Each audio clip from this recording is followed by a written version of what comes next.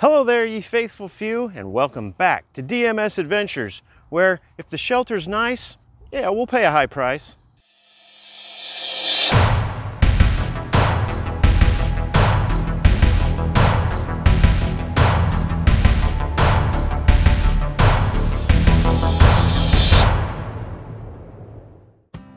So we recently had to retire our favorite shelter. It was from Gander Mountain. It was the Falcon series. It had two awnings on the side that were, it was just the best shelter ever. However, UV rays and time finally got the better of it and we just had to get rid of it. It wasn't able to keep the rain out. There were holes in it. Stitching was coming apart. Just time for a new one. Now, these easy up shelters are a dime a dozen and their longevity and their performance pretty much reflect that. Normally, what takes a shelter out first is the wind. Wind to a shelter is like the Joker to Batman or Vader to the Rebellion, Thanos to the Avengers, Moriarty to Sherlock Holmes. Hey, would you just get on with it? What do you mean? No one cares about your clever little witticisms. Well, I was just explaining how the wind takes down Dude, just get back to the review. Sorry, folks. I, I try to keep him in line, but he just kind of goes off sometimes. Alrighty then.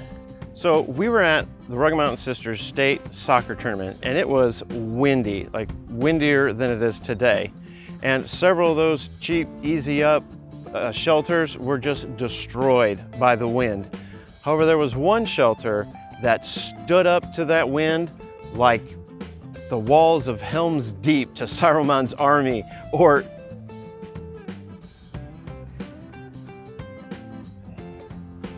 That shelter was the Eurmax 10 by 10 canopy with awning. This thing is a beast. It comes in at 61 pounds. And although I picked this great red color up for $240 on sale, typically they run from 275 for the plain white version to up to $400 for different color options. So let me show you what makes this shelter so much better. Well, first up, let me tell you about this bag. This is a very sturdy, well-made bag. They have three different handles, one at the top on the front, one at the bottom on the front, and then there's one at the top on the back as well.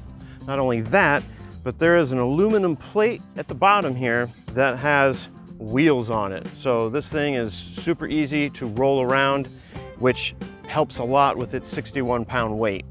All the stitching on it is fabulous. The material is thick and sturdy.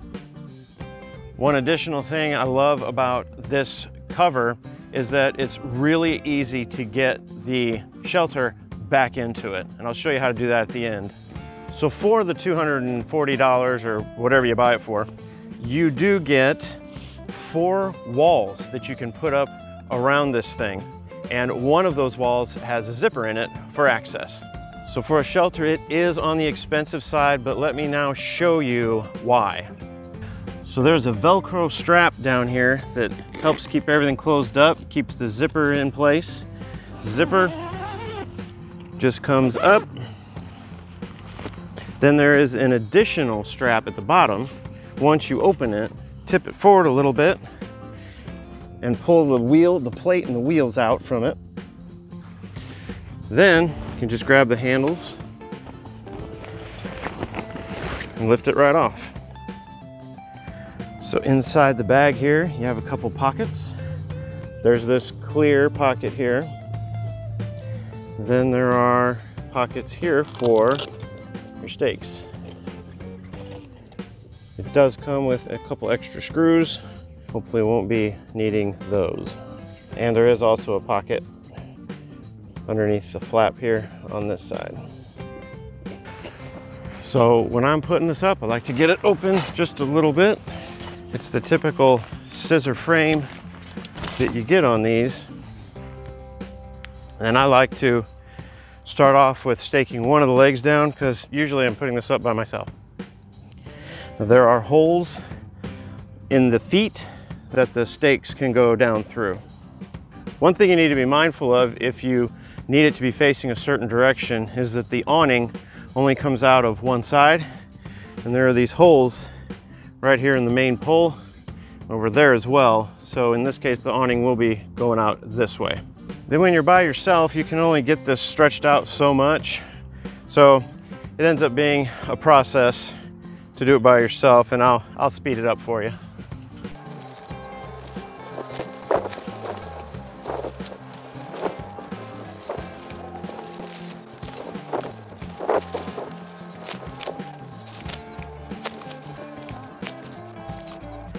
Now when you get to a certain point, you'll see this hole right here, and this is what this latch will hook into. Those holes are on all four sides, and when you get close, you start lifting up on this part until you get it to snap, there it goes, into place. We'll get this one, hole right there, and if I can get my foot on this, this is tricky to do with a camera in your hand bam, locked into place. And this, you can just pull these up to kind of get a good look on that. And then when you're ready, grab this little D-ring that they put here on the corner, pull that down. So now that it's up, take that stake out and I put in earlier, and then you can extend the legs to, I think, three different elevations.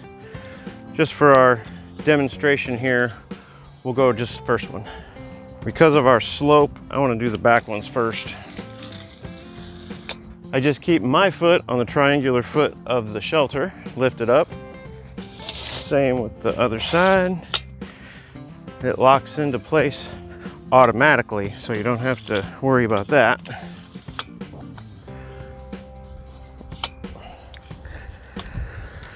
And again, given that wind, I'm gonna get this stake down in there. That's all there is to putting it up initially. I'll show you a couple more things here on the inside. So the whole canopy does come off. I typically leave it on.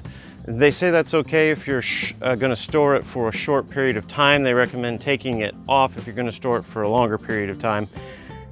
I still leave mine on just because it's so darn convenient. So if you are so inclined to remove it, it simply Velcros into all four corners right up there. So on those cheaper shelters, a lot of times what will happen is your canopy will just fly off. Well, this one has a feature to prevent that from happening. So in order to keep the canopy from flying away, they have these Velcro straps attached to the canopy right up here. And so you just go underneath the frame and Velcro it to itself. You do that on the middle part of all four sides and your canopy is secure. So the legs are made out of a tube steel that has a little bit uh, larger dimensions and is made out of a little bit thicker material than your standard easy ups. And so now here is what makes this shelter so sturdy. It's got this crisscrossing frame inside that I've never seen on any other shelter. So this crisscrossing frame, which supports the midspan of the sides, so that when that wind starts blowing, all that load can be transferred into the entire frame, which does a much better job of transferring that wind load around to all four legs. You also get a really nice peak height in here that you can take advantage of. Then all along the edges here on all four sides uh, is a strip of Velcro.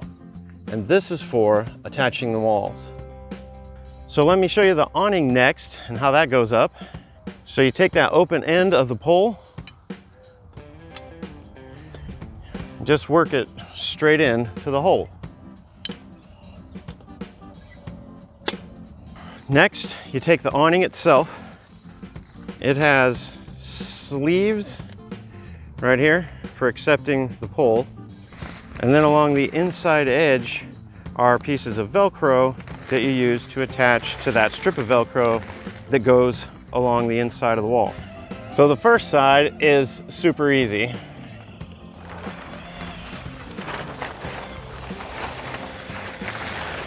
And when you do it, you want the Velcro pieces on the top of the awning.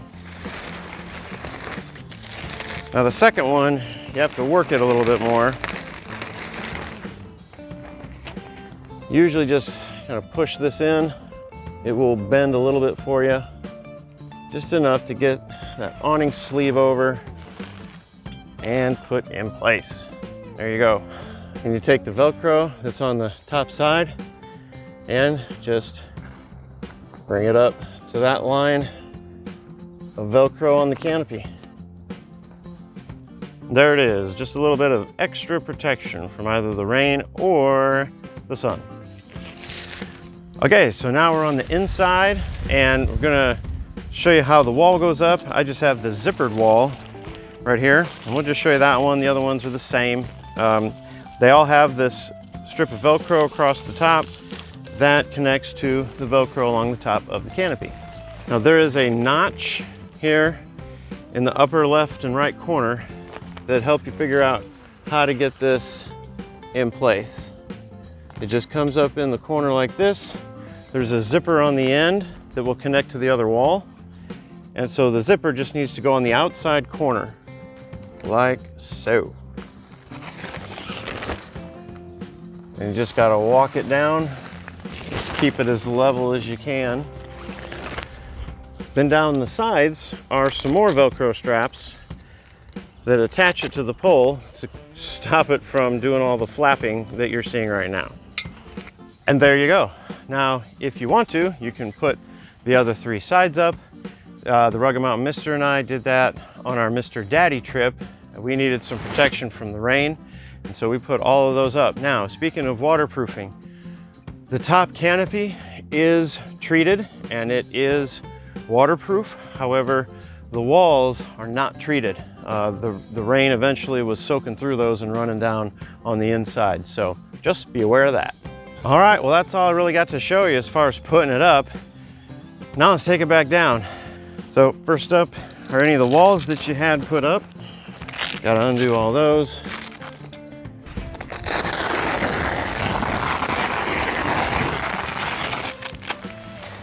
Now you can get away with just stuffing and take your time. You can take your time and fold them all up. Got a nice drawstring. Next is the awning.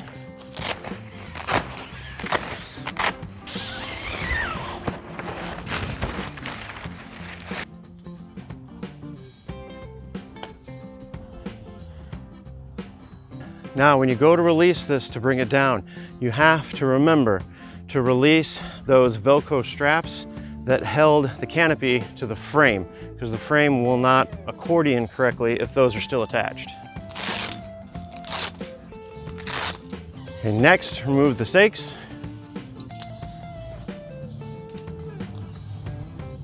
Then you lower your legs. These uh, latches are very simple to release. Just press with your thumb. That is released. That one, that one, that. You can just let it come down and then lift these back up a little bit. And then there are latches up here as well that will release with just pressing with your thumb. There you go. Then if you're by yourself, you just gotta kind of walk it back in like you did to raise it up.